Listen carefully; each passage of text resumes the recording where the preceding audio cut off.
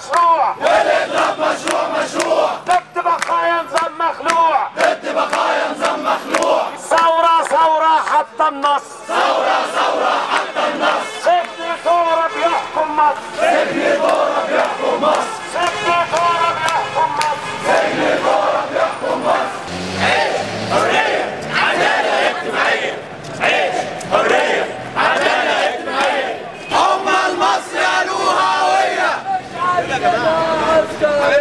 مش عايزينها عسكرية. مفيش عداله اجتماعيه خالص. مفيش أي بوادر يحسسوا الناس ان هيحصل في الاجتماعيه أي بوادر. حازم البرداوي راح ثلاث مرات المجلس العسكري بثلاث أنظمة الحد الأدنى والحد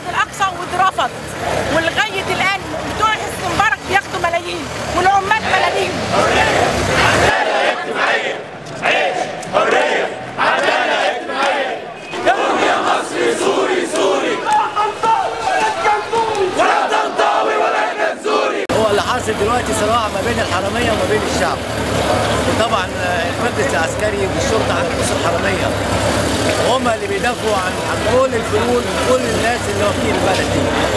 العسكر لازم يمشي قول ما تخافش العسكر لازم يمشي قول ما تخافش العسكر لازم يمشي واللي شعب مصر ما ينفعش يحكم مصر. ما ينفعش يحكم مصر ما ينفعش يحكم مصر ما ينفعش يحكم مصر يا ثورتنا ثوري ثوري يا ثورتنا ثوري ثوري إحنا في مرحلة لسه ال- العمال والتنظيمات العمالية ما بقتش آه، موجودة بدرجة بتعمل شديدة علشان خاطر تبقى لضمة اللضمة بتاع الحركة مع بعضها. يعني إحنا لسه في بداية مق- ولادة تنظيمات نقابية جديدة بتحارب بشدة من جهات كتيرة جدا على رؤساء الدولة وال- والعسكر دول أصلا اللي طلعوا قانون لتجريم الاعتصام والإضراب اللي حسني مبارك ما قدرش يطلعه. وفي نفس الوقت ممتنعين عن إصدار قانون جاهز اللي هو قانون الحريات النقابية.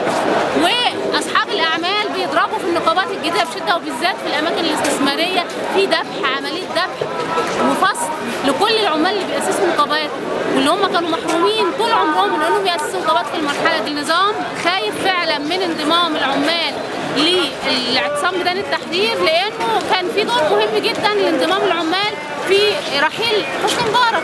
إحنا ما ننكرش ده إنه العمال ما دخلوش المعركة بصفاتهم كطبقة في الأول بس بعد كده الاعتصامات والإضرابات بمئات المصانع والشركات يوميا دي عجلت بأنهم يمشوا حسن مبارك وتخلص الجولة الأولى من ثورة آه، 25 يناير.